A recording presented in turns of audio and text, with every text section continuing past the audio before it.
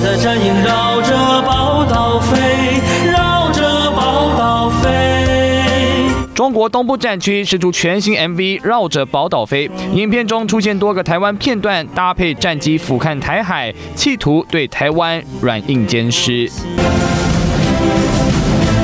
即使再温馨，但共军的备战仍不停歇。近期，美国智库 CSIS 就针对2026年的台海战役来兵推，结果显示中国惨败，折损大量人力跟装备。至于台湾也没好到哪里去，同样损失惨重。智库就建议台湾得在战前先储备弹药，而且尽可能采购便宜的武器。保护自己，他特别强调，他不是要暗示说战争一定会发生，因为他认为说，其实战争的成本非常高了，那所以他认为解放军其实可能也不会以这个选择走上战争这一途，他可能认为说海空损失完之后，老共可能就有点这个对于这个两栖登陆呢，就会就会有点有点顾虑，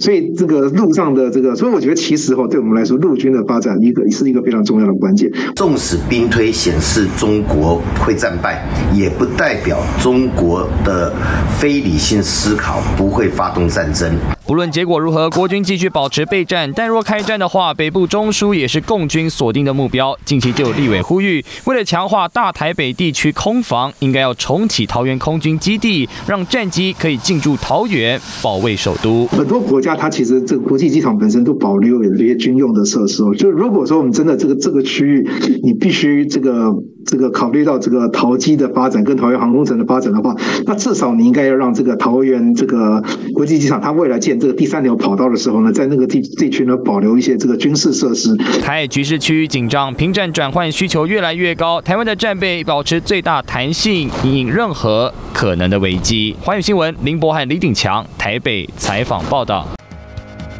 美中对峙下的东协因地缘政治角力趁供应链爆发大迁徙潮，台场机会挑战有哪些？每周六晚间八点，看见新东协，用一小时带你掌握东协商情与政经发展。